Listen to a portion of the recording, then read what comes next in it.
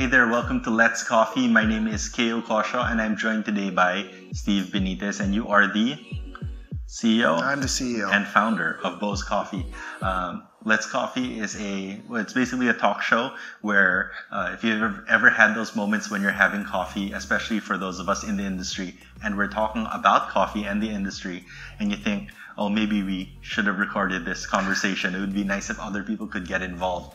Um, and that's really it. Just the mm-hmm. things that we talk about over a cup of coffee. Mm-hmm. Sometimes those are big ideas, right? Which is kind of interesting. These big ideas over a small cup I of like, coffee. the, I like the idea. I like the concept. Thank you very much, Kayo, for having me here. thank you for thank you for joining us. Like it, it means a lot to me. You know, like I've been going to Bo's for decades now, right? It's been 23. 23 years. years. 23 years of Bo's. So I, I remember in the 90s when I first started drinking coffees, um, it was very much, you know, Starbucks, Figaro, and Bo's, right? And everyone was saying, oh, Bo's, that's the Cebu one. You got to try that one, right? Um, so, uh, like, my, my very earliest memories of drinking coffee very much associated with, with your company. So it, it's uh, it's an honor. What's the origin story for you, or you know, if it was like a comic book, right? What, how did you know what was the radioactive spider that bit Steve Benitez and turned you, you know, made you do Bo's Coffee? Uh, well, Bo's was born out of my trips abroad. Okay. So I would really go out of travel in different places, and most of the time I find myself in coffee shops. Uh, I'm not a typical tourist who would go into very touristy areas, and so I'll go into local uh, areas that that's not frequented by tourists, and and the most uh, convenient place to end up hanging out was a coffee shop. And so I really like, I really enjoyed the experience. I, you know, um, I started liking coffee as a beverage at first, but then it, it turned out to the whole coffee experience. And every trip I go out, I look forward to that whole coffee shop experience. That's because that's where I uh, have a very deep, a, a deeper experience of the culture of that particular place. Uh, I- I'll see the people around the coffee shops. I, I, I just watch people walking around. I watch people interacting with each other. Because most of the time I would be traveling by myself, and it's the most comfortable place to be alone, right? Why was that? Why were you going places on your own? Was it for business? No, um, I, I'm, I'm a, by heart, I'm an adventurer. I really like to go and adventure different places. Way before all of this millennial experience, experiential stuff really happened, right? So, for, for the record, you do not consider yourself to be a millennial. millennial by heart, perhaps, yeah, but uh, in an X-gen body. Okay. Yeah, so uh, yeah, so that's something I really look forward to. I would spend more on experiences than actual what they call uh, shopping or dining out. So, and I I kind of have a very good uh, um, um, dose of experience in a coffee shop, and that's something I look forward to every time I traveled. And one day I just said, you know, you, should, you asked me what, what was the spider uh, that bit me. That was when I, uh, if I really think about it, that was when I was sitting in a cafe outside in in in Orange County in LA, uh, Orange County in LA, and I was on my way home that evening, and I said, I'm gonna miss this experience. And then my friend said, I was with a friend of mine, and he said, Why don't we? I mean, you know, why don't we? Why don't you just bring this back home? And I said, Why not? Right. So What, that was what like, was that cafe? Do you remember? you know, I would go to that cafe. It was called Pire. Okay. Yeah, uh, it was it was in the mall, but it was it was it was outside the mall, the perimeter, and it had sidewalk uh, uh, uh, ambiance and an alfresco area where you, I would sit down, look at the street, all the cars passing by, all people walking through the coffee shop, and that's when I said, why not? I mean, you know, why do I have to wait for my next trip? Why don't I share this experience that I really enjoyed to the community back home in Cebu? So that was in 1994. Wow. And uh, for two years, I studied the whole experience. Uh, I would travel more, go out of the country more to just really study the whole experience. And at the same time, I dug deeper into the beverage itself. So uh, I attended I attended expos, I attended conferences, I did a lot of self study, I did a lot of uh, um, uh, how would I call this? Uh, really living the culture in my trips abroad. Right, so that that's the whole that was the whole story behind my romance with the good coffee. So that means that your foundation year was 1996. 94, I start. That was the time I had that light bulb moment. Yeah. And 96 in June was the day that I opened my first shop. So that puts you at 23 years. 20 well 94 I will be 25 years in in my uh, exploration of co- in coffee In but your then, journey. but my first uh, shop is 23 years ago. Yeah So um, when you guys got to 20 years, what what happened at that point?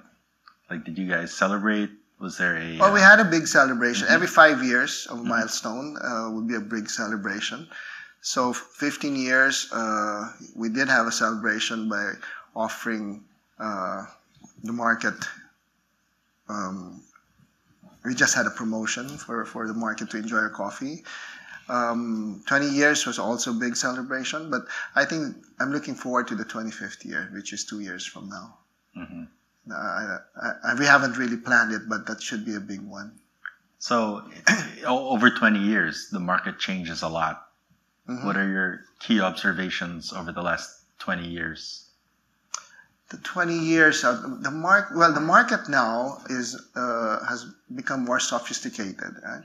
So when we were we we were starting up uh, at the beginning it was uh, more of a struggle to introduce the whole ex, uh, espresso um, uh, beverage to the market. It was totally new. What was prevalent at the time was just drip coffee or even instant coffee and when we introduced espresso, it was like something repugnant. It was too strong for the market. Even 1996, that was, 96, that was pre Starbucks here. yes. Starbucks here is about 98, 99. 98, right? Yeah. So, yes, it was pre, pre Starbucks here in the Philippines. So, um, so we, we introduced the espresso beverages, cappuccino, latte, and what we did was just add more milk, add more sugar until they got accepted by the market, right? But now, I think the market has become more discriminating in taste, right? They they, they would they would if you put more milk, they say no, I want it stronger in coffee. I want my coffee to be. There's a certain way that people like their coffee this uh, nowadays compared to how it was 20, 23 years ago. And do you find that those people are the same people or are they new coffee drinkers? Um, no, there's definitely more coffee drinkers right now. I mean, people are starting drinking coffee at a younger age. hmm I remember back in the 80s and 90s, kids are not allowed to drink coffee because they stopped growing. That was the myth. Yeah. And so uh, people started drinking coffee right after college. hmm Um, for me, for example, I started drinking a lot of coffee when I was taking up law school. But I used that not because I enjoyed it, but I used it as to, to wake me up hmm because I had to study till the wee hours of the morning. It was a legal stimulant. It was, yeah. Yeah. But now it's at, you know, my kids, uh, even at grade uh, elementary or high school, asking me if they could drink coffee. But the good thing about uh, the difference before and now is also because there's a lot of innovation in, in the coffee beverage industry. So before it was purely hot beverages. Mhm. Now you can come up with all of these blended drinks, and so that's for for the younger kids. It's their first intro to coffee is to the ice blended, very sweet drinks. Almost right? like a milkshake. almost like a experience, yeah. milkshake, a dessert, and then when they get older, they go now shift to the more serious stuff like Yeah. Well, there. I mean, you look at the landscape in Metro Manila. There aren't really go-to places for things like milkshakes, Mhm. right? You have fruit shakes, Mhm. and then you have coffee, and then that middle kind of um, non-coffee beverage that's like slushy, a milkshake. Kids don't have an option, Mhm. right? So uh, coming to cafes with their parents, it actually becomes um, it becomes uh, more and more uh, important in the menu. I think, right? Because I, you know, I have young children myself, and I want to hang out in a cafe. There needs to be something for them to have.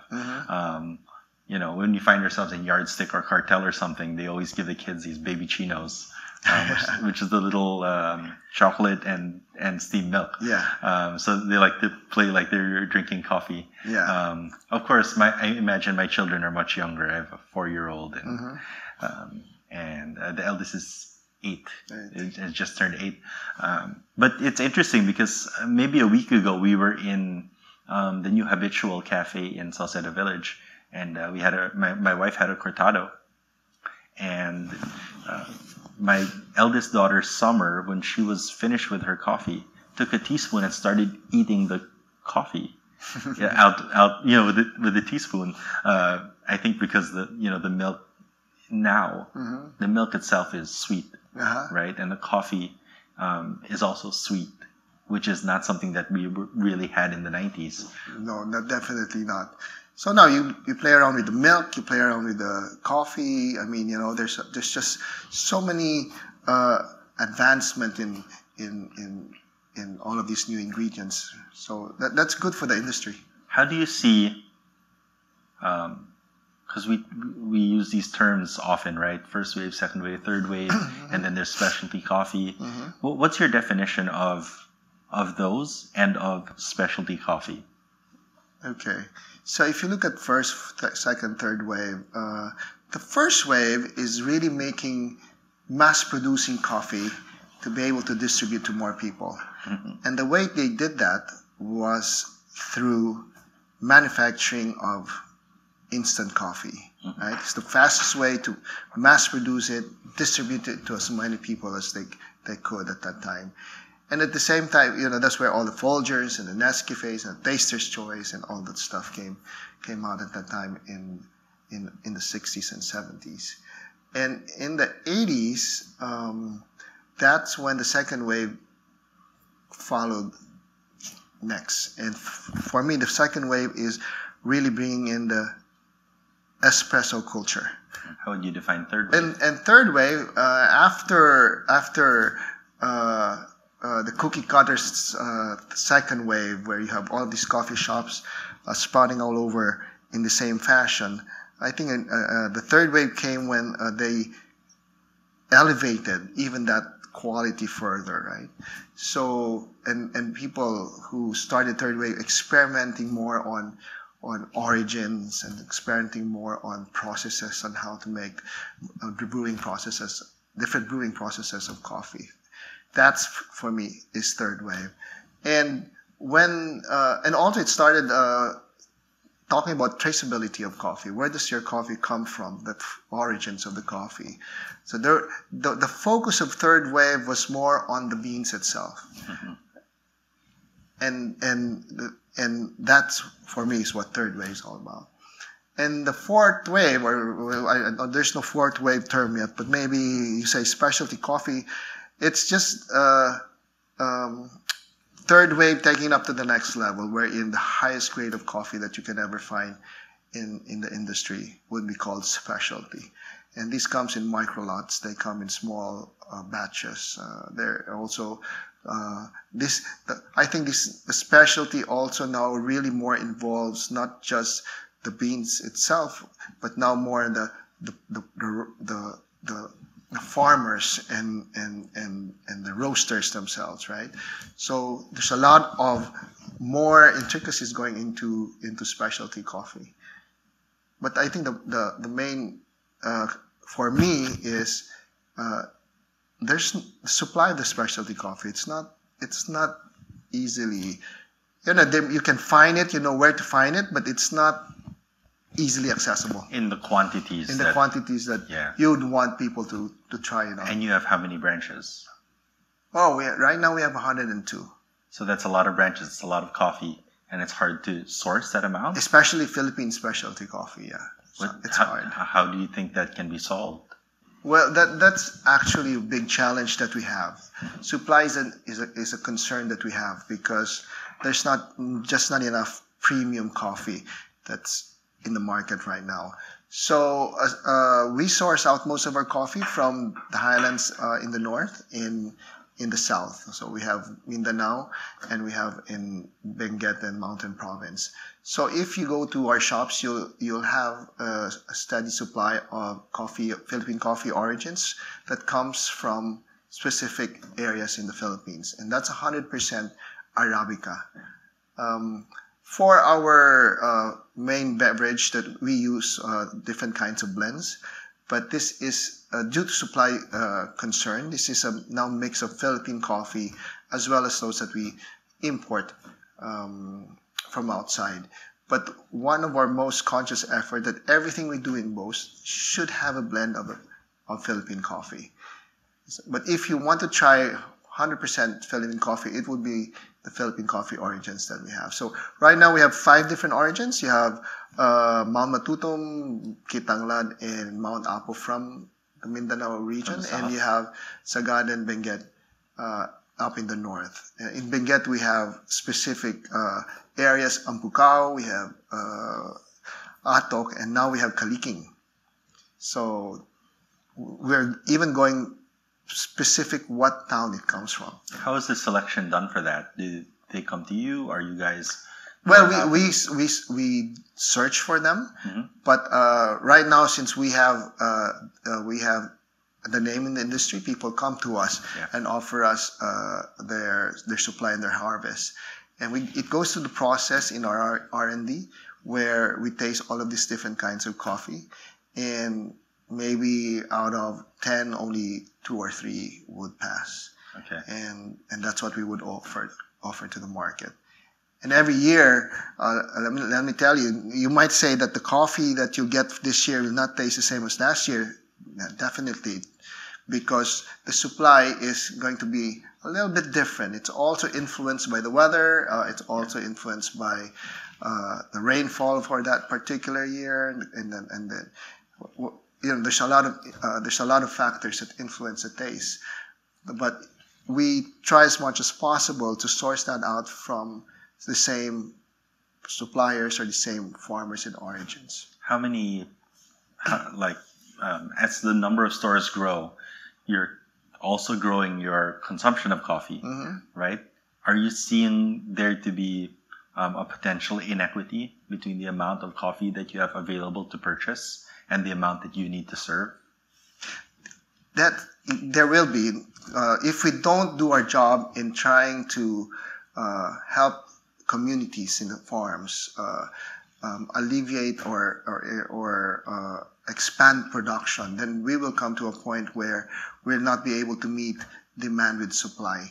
So right now we work with a with uh, the Philippine Coffee Council that's uh, very informally still formed. Yeah. We work with DTI mm-hmm. and DA, and we also work with uh, private individuals and private uh, organizations. Uh, in fact, um, I, would like to uh, tell you that we've recently just, I can't divulge it, but we recently just got into a collaboration with a, a very reputable group who are uh, uh, supporting farms up in the north. So uh, our way of helping is really to to help uh, put up facilities for them, right? Mm-hmm. So and and if we, if we put these facilities, uh, my understanding is it will help increase supply. It'll make uh, it'll make the life of farmers easier because then they don't have to travel so far to bring their cherries. The, the, the mills will be we bring the mills to where their farms so are. you're talking about building a wet mill, building a dry mill. Yeah. In the locations where the farms are. Yeah. Um, so that those, uh, so that harvest can be processed. Ultimately. So right now it would just be a dry mill. Okay. Yeah. The initial uh, uh, collaboration we're working with is a dry mill. And that be a matter of we're essentially trying to limit the amount of coffee that gets wasted because it doesn't get processed. That's right. Right? Because that means that the coffee is there. That's right. It's just not being processed in a proper way that is worth uh, that you know is meeting meeting the spec for serving in your cafe. That's right. And there are two ways that you can help the farmer improve the farmers' lives. Big bottom line is increasing their income, right? Mm-hmm. But how do you increase income? Two ways: expand volume or process it right. So if you don't have the volume yet, then you teach them how to process it right. They get more value for whatever harvest they have. And if you help them with their on the uh, on the planting side, right? Then you expand their uh, production. At the same time, increase the quality of their coffee. So you bring that income of the farmers up and make make lives better. Okay, so 102 stores, mm-hmm. and you have this new flagship store in Cebu. Uh, why don't you tell us a little bit about that new store? The new store was a, a uh, something that I really wanted to do, maybe three to four years back, mm-hmm. and it got material. It, it materialized last year. Uh, it's a store. It's a 300, 300, 350 square meter store or a standalone store in Cebu. We call it Bo's Coffee Tribute Store. Mm-hmm. And why is it tribute? It's a tribute to Philippine coffee. It's also a tribute to to our roots where we started in Cebu. So it, when you step into that store, you'll have a full experience of an experience bar where you can have all the different kinds of brewing methods you'd like to have your coffee. You can choose your origins from there, and then you can choose how you want it brewed. Uh, with a very, uh, uh, we call it more of a, uh, a, barista expert, different from the barista who would handle the core bar. Mm-hmm. Yeah, and we have products there that are also just very exclusive to the experience bar. Yeah, that that's what's uh, that's what's uh, different in the particular store. There, coffee, we have coffee there that you can't find in all our other stores. So it's beyond, it's outside of the five ones that you said that you. Yes, yes, yes, okay. yes. So, but not, but I mean, you know, maybe one or two, right? But yeah. I think the big difference is the methods of brewing. Uh, we would have five different kinds of brewing methods, not only for coffee, but we also have uh, uh, select teas um, that you won't find in other Bo's. We, we would also have um, uh, methods that you won't find, brewing methods that are not available in our, all our other core stores. And uh, it's called an experience bar. At the same time, I'd like to call it a slow bar. Mm-hmm. Why? It's a slow bar because you have time, take it slow. Yeah. And people, and the barista can brew, tell you the story about the coffee beans and, and where it comes from tells you how it's being brewed, you know, deliberately and slow. And you know, in this very fast, uh, fast-paced life, I mean, I think everyone should take time out and slow down a little bit. You know, we um, whenever we train our baristas um, on on our side in honeycombs, right? Mm-hmm. We train baristas for clients, and of course, we train our own baristas. And one of the things I always tell them is that you know, when people come to the cafe, to the coffee shop, it's like going to Disneyland. Mm-hmm. Like they are looking to escape from their lives mm-hmm. for 20 to 30 minutes. Mm-hmm. So, what can we learn from the way that they run Disneyland? Mm-hmm. Well, when someone comes out of, you know, comes out of the doors of the staff areas and you're dressed as Mickey Mouse, you are for all intents and purposes Mickey Mouse. If you are dressed up as Buzz Lightyear, you are Buzz Lightyear. Yeah. And so it's the same thing for for customers when they come in and they see a barista. Um, as much as they do see you as a human, they're expecting a certain performance, yeah. right? Yeah. And it's up to us to give them that escape, mm-hmm. right? To make them feel like this cup of coffee is, you know, a little cup of Disneyland, yeah, right, for them. Um. So yeah, that's one of the ways we approach it. And it, it's very interesting because you're talking about your your cafe and you're describing it to me, and you guys have been doing, doing this for a long time. I mean, mm-hmm. um, you know, pre third wave, mm-hmm. pre specialty, it was a very different business. But what you're describing to me now sounds very much like a, uh, like a, you know, third wave specialty coffee mm-hmm. cafe. Yeah. And as you described earlier, this the different waves mm-hmm. and specialty coffee. Where do you see Bo's fitting in in that? Uh, kind of in that spectrum. Yeah. No, so both uh, it's it's second wave pushing it towards third wave, and for at a, certain level, in some stores like the Tribute Store, we're offering what a specialty coffee is, right? So as I mentioned, there are coffees coffees in, in, in the tribute store that you can only find in tribute stores, Mm-hmm. and they're very limited in supply. It's You said stores, so are you planning to do more tribute stores? maybe a couple more stores. Uh, I think tribute, it, giving tribute to Philippine coffee, it, it's really deserving for Philippine coffee. Right? So you, you So- think we're gonna see one here in Manila? Well, it all depends on the location. If you Okay, find the right yeah. place uh, for the right market, yes, we would. That's my that's our, our dream to be able to do in, in Metro Manila. So a hundred stores. How do you maintain the quality, the consistency across so many locations? Do you guys have a process? Yes, we do. I mean, you know, you have the regular training, you have the uh, the reg- regular uh, um, um, assimilate the baristas into the whole culture. But you know, the I think the key uh, element in trying to maintain quality is really inculcating the values of our companies and the culture of quality and innovation into our baristas. So it's it starts from the time they step into Bo's. Uh, first day at work, it's nothing to do with coffee, but all to do about culture, and all to do about uh, what the vision and the mission is for Bo's. And that- How, how do you communicate that? uh, we do through trainings. I mean, you know, that's the things that they talk about initially as they join the company is really more about that.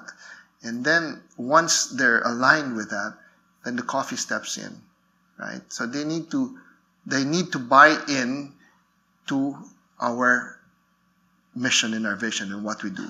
They need to buy into our values and the culture that we're trying to build, and the culture of quality and the culture of innovation. And getting these people is is and finding these people to join us is actually not not easy. I mean, you know, not not everyone can act, totally understand that from that particular perspective. Um, but how do we do it? I think we how do we get the right people? That's a question that is being Yeah, the hiring right? process. we sell them the dream, right? I, it's like I always try. If you ask people in our company who have been there for more than three to five years and ask them, "Why are you still here?" Mhm. and they'll give you an answer that they believe in what we do, that we have a mission that we need to accomplish. So in Bo's, we hire people and we attract people not because of who we are, but because of what we do, because they believe in what we do, right? So it's just a principle of why people buy your product. They buy the product not just because of your product, but they buy your pro- product because of what it stands for. So like the same way that we try to, the same way that we attract and hire people. We hire people who believe in us. We hire people who uh, share the dream with us and share the vision with us, and we and and we keep them by aligning our values together.